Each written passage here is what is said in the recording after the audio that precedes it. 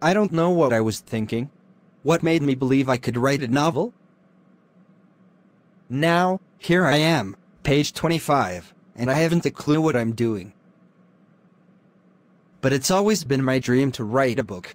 I wasn't looking for fame and fortune, it was just something I had to do. I thought I knew how to do it. I've read plenty of books after all.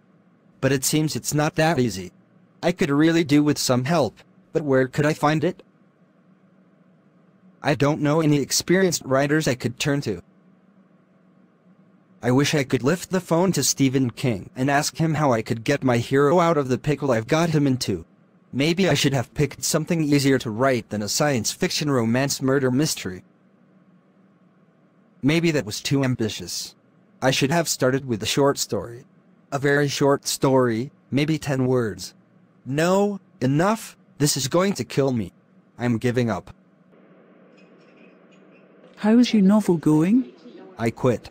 I couldn't do it. But you have such a talent. Maybe, but it needs more.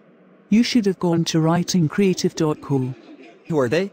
They help novice writers like you. Help how? They can help you with structure, plot, characters, dialogue, all the things a creative writer needs.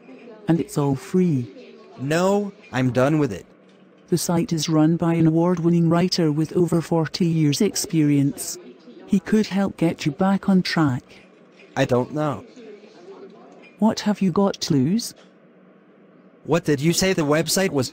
Writingcreative.co.